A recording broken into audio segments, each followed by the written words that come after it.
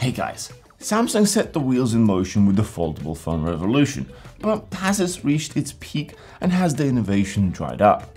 In some ways it's definitely slowed down, and in others it's just getting started. We were lucky enough to attend a recent media event where Samsung pulled back the curtain on their latest creations, including tablets, watches, as well as the new foldables, the Z Flip 5 and Z Fold 5. While we're still waiting for our review samples, we do have some things to share from what we saw.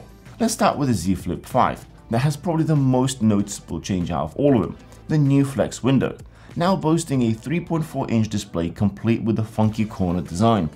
This actually is a great improvement. Back when we first checked out the prior Z Flip, our major gripe was the need to constantly flip it open to use it.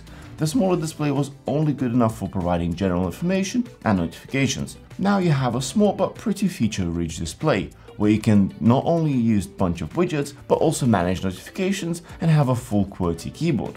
The screen is now large enough to swipe down for quick settings like Wi-Fi, mobile data or sound. You can even swipe up to process payments. Other improvements seem to be doubled minimal storage at the same price and the new processor. It is now using Snapdragon 8 Gen 2 chip, which is also shared with the Z Fold, as is expected with every new model. But let's not forget different colors as well as new cases. In many ways, Z Flip seems to have truly positioned itself as a trendsetter, catering to users who crave personal touch to their devices, and Samsung is certainly happy to capitalize on it. Overall, I can see how these seemingly subtle enhancements to the front screen, coupled with the overall performance boost, could drive many more people to jump onto the foldable bandwagon, which leads us well to the Fold 5.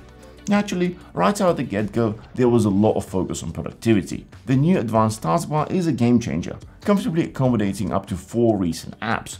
During the presentation, Samsung placed a heavily emphasis on the two-handed drag and drop functionality. I can see the utility there, but personally I see myself mastering the one-hand hold, other hand drag and drop kind of approach. But there is still a lot of room to speed up my workflow. The screen form factor and multi-window control is obviously pretty amazing.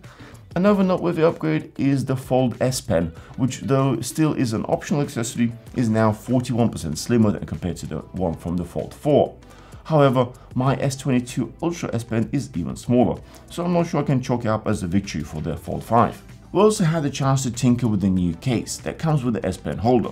While it does make the phone larger, it also resolves the wobble problem.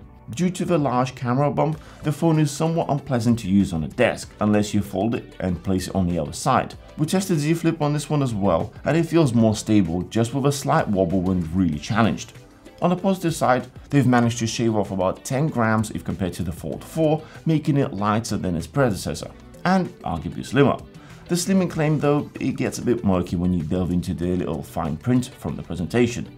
They put an asterisk saying, I quote, Thickness of a Galaxy Z Fold 4 is measured based on the metal parts between the hinge, while Galaxy Z Fold 5 is measured based on the glass parts between the hinge. That's a bit of a weird head scratcher, isn't it? One area where both devices definitely shine is the gap when folded, or rather the lack thereof. This is due to the simplified and upgraded hinge mechanism. Both the Z Flip and Z Fold 5 have practically zero gap, presenting a sleek premium feel when you're holding any of these devices. I especially like the Z Fold when folded up. I'd say it's nicer than my S22 Ultra as I can actually grip it well in my hand rather than need to stretch the hand apart. One glaring improvement is the screen brightness. It now maxes out to astonishing 1750 nits, a substantial step up from the previous 1300, which is crazy bright for a phone.